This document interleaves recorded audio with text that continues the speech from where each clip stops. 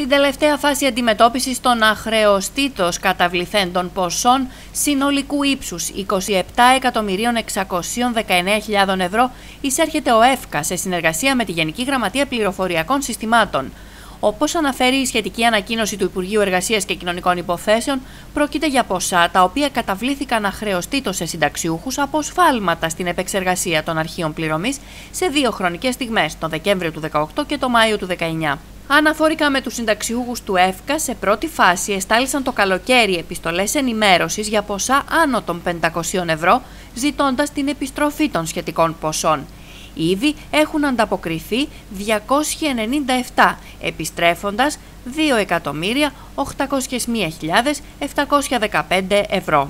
Σας τα κρατάνε λέει και τη σύνταξη. Αν θυμάστε καλά την συζήτηση που είχαμε κάνει την προηγούμενη φορά πάλι για τα λιγότερα αναδρομικά, το συζητούσαμε και λέγαμε ότι επειδή δεν έγινε σωστά ο υπολογισμός τους, κάποια στιγμή θα ζητηθούν και λεφτά πίσω γιατί δόθηκαν παραπάνω από ό,τι έπρεπε. Μετά την απομάκρυνση του Ταμείου, να ξέρετε, ο σοφός λαός λέει ότι δεν αναγνωρίστηκε κανένα λάθος και εσείς έχετε απομακρυνθεί πάρα πολύ από το Ταμείο. Ακριβώς. Σκεφτείτε τώρα ότι κάποιοι όταν τα πήραν αυτά τα λεφτά, σε, έτσι φτιάξαν κάποιες υποχρεώσεις τους, τις τακτοποίησαν και τώρα θα βρεθούν εκτιμημένοι.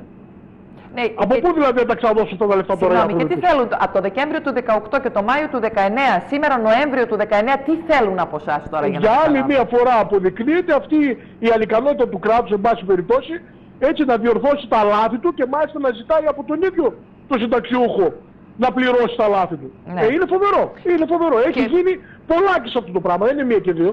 Ναι. Και πώς θα το γυρίσετε πίσω τώρα, γιατί φαντάζομαι με τρίτα δεν. Ε, είναι, από ό,τι άκουσα και τα λοιπά. Το ξέραμε αυτό και από την πρώτη στιγμή που είχε γίνει θέμα ότι δεν δόθηκαν σωστά τα αναδρομικά. Ναι. Και θυμάστε που το λέγουμε. Ενώ υπάρχουν ακόμα συνάδελφοι οι οποίοι δεν είχαν πάρει καθόλου από αυτά τα αναδρομικά έχοντας τις ίδιες ακριβώς έτσι, τα ίδια ακριβώς εφόδια με άλλους συναδέλφους που είχαν πάρει. Άγιο είχαν αυτοί που δεν ακριβώς. πήραν καθόλου, γιατί ναι. τώρα τα ζητάνε πίσω, ναι, τι. Λοιπόν, και περιμένουν οι άνθρωποι ακόμα και σήμερα, να φανταστείτε ότι προχτές είχε πάει η πανελλήνια την προσωπία δικιά μας έτσι στο λογιστήριο και τους είχε πει ακριβώς αυτά τα αναδρομικά ότι περιμένουμε ακόμα τον επανεπολογισμό. Σας είπα, δεν έχουμε πάρει ακόμα χαρτί που να μας λέει βάσει ποιο τύπου υπολογίστηκαν αυτά τότε.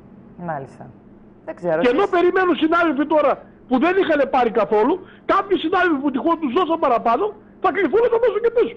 Μάλιστα. Άρα θα δούμε μειωμένες συντάξεις. Ε, Όχι γιατί προφανώς. μειώνονται από φυσικού τους, αλλά προφανώς, γιατί, γιατί αυτά δεν μπορεί να τα κρατήσει. Δεν μπορεί να τα κρατήσει στα παρεφάμαξ, θα τα βάζει στην ε, μισθοδοσία και θα τα παίρνει μήνα-μήνα. Για τους 1.304 συνταξιούχους που δεν ανταποκρίθηκαν, θα ξεκινήσει η παρακράτηση του αχρεωστήτως καταβαλόμενου ποσού από τα τέλη Νοεμβρίου, τμηματικά, στο 1 τρίτο της σύνταξης. Αναφορικά με τους συνταξιούχους στρατιωτικούς, τον Ιούλιο του 2019 στάλθηκαν 140 επιστολές για ποσά άνω των 15.000 ευρώ.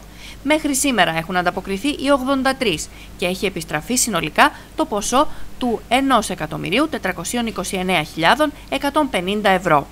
Μέχρι αρχές Δεκεμβρίου θα αποσταλεί ανοιχτή επιστολή σε 793 που εισέπραξαν αχρεώστητα ποσά από 5.000 ευρώ και πάνω, ενώ για τους υπόλοιπους θα γίνει παρακράτηση του ποσού από τις συντάξεις του Φεβρουαρίου 2020.